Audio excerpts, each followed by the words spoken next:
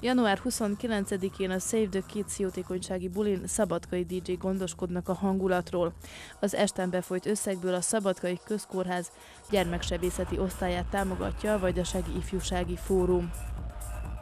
250 dináros belépők teljes összegét, ami össze fog gyűlni, az pedig eh, el fogjuk juttatni a szabadkai gyermeksebészeti osztálynak, ahol pedig eh, bútorokat és kis renoválást fogunk kezdeményezni majd abból a pénzből.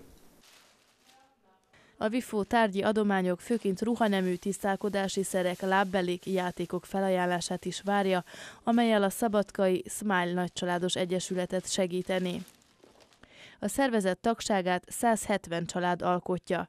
A céljuk, hogy összehozzák a családokat és segítséget nyújtsanak nekik.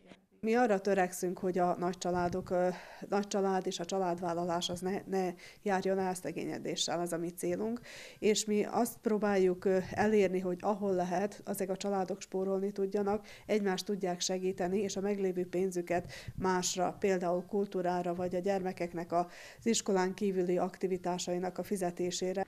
Ne felejtjétek, január 29-én Save the Kids jótékonysági buli a Szabadkai Madlen Klubban. A tárgyi adományokat január 20-áig lehet eljuttatni a VIFU szabadkai irodájába, a Korvin Mátyás utca 9-es szám alá, valamint a Palicsi helyi közösségbe, a Horgosi és a Zentagunarasi óvodákba.